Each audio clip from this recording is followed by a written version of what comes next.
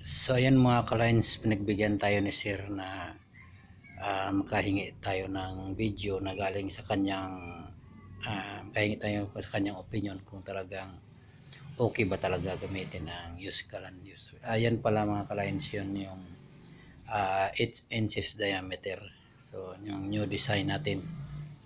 So ayan po makikita ni Sir dyan. Ang sabi ni Sir dyan, wala pa raw 10 minutes ay kumukulo na yan. Pero kasi ganyan lang karami tubig at mamaya magpakulo siya ng mga laman loob. Opo, mga laman loob. So, marami na daw po siyang putahe na sinalang at matipid nga at talagang nakakatulong sa kanya. Ayan po, makikita dyan sa video na yung mga pinakuluan niya. Tapos, yung iba din na pinakuluan niya. Yan po.